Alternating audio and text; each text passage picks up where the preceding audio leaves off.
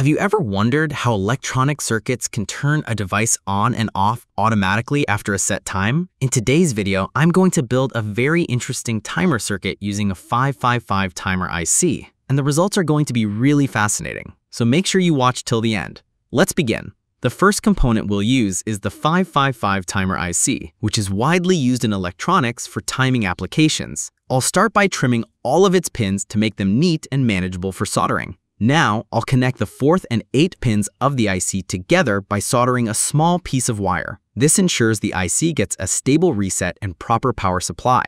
Next, I'll connect the second and sixth pins of the IC by soldering a wire between them. This step is crucial because it allows the IC to operate in monostable mode, which is the key for making a timer. Now let's add the capacitor. This is a 22 UF electrolytic capacitor. I'll solder its negative pin to pin 1 of the IC, which is the ground pin, and its positive pin to pin 2 of the IC, which is the trigger pin. This capacitor plays an important role. It determines how long the LED will stay on before switching off.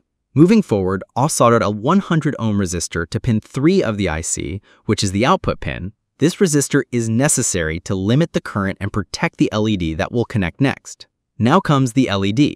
I'll solder the positive pin of the red LED to the free side of the resistor and the negative pin of the LED back to pin 1 of the IC. This LED will act as the indicator of our timer circuit.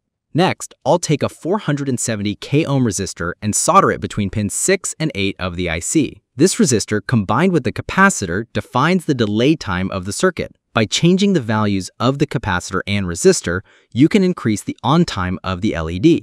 Now it's time to make the power connections. I'll solder the negative wire of a 3.7 volt battery to pin 1 of the IC and the positive wire to pin 8 of the IC. With this, our circuit is powered and ready. Let's test it. When I connect the battery, the LED immediately turns on. After a few seconds, you'll notice the LED automatically turns off, completing the timer function.